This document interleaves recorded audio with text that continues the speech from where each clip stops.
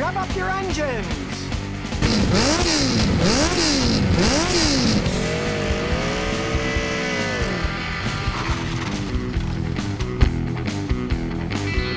It's time for ScottyKilmer.com. Is your car's steering wheel shaking when you slam the brakes on?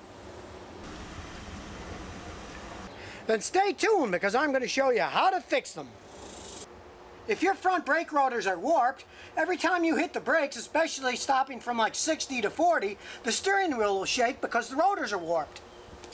So today I'm going to show you how to change brake rotors on a car. Just pull off the wheel and check the brake rotors. You can see they're really worn here.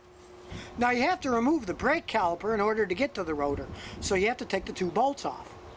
And as you can see from this backside view, it's an Allen hex wrench. And in the case of this Buick, it's a 3 8 inch Allen hex wrench. So we'll put the wrench in, make sure it's snug, hammer to loosen it. There it goes. And of course do the same thing on the top bolt. Now the brake caliper often sticks to the rotor, so get a big pair of pliers and squeeze it back in like this. Open it up a little. Then put one end on the pad and one on the caliper and squeeze it. That moves it back in. So then you can just grab the whole caliper and get it out of the way. Now the rotors themselves often stick on, so get a big hammer and whack them a couple times. After a few whacks, they come right off. Then just open up your new box with the rotors inside and put them on the car. And realize that if your old brake rotors were warped, so are the old brake pads, so you need to put new brake pads on too. So get them out of the box and install them.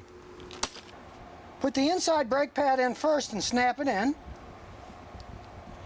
Then put the outside and snap it in. Then slide the caliper on and tap it in place. Then get your Allen wrench and put it on the two bolts and tighten them up. Tighten with a big hammer to make sure they won't come loose. You don't want the brakes coming off. And of course, don't forget to do the other side because the front brakes work in tandem and you have to change those rotors and pads too. But I won't bother filming this side because it's exactly the same as the other side. So the next time your steering wheel gets the shakes while braking, don't abandon ship, put on a new pair of rotors and brake pads instead. And remember, if you have any car questions, just visit ScottyKilmer.com.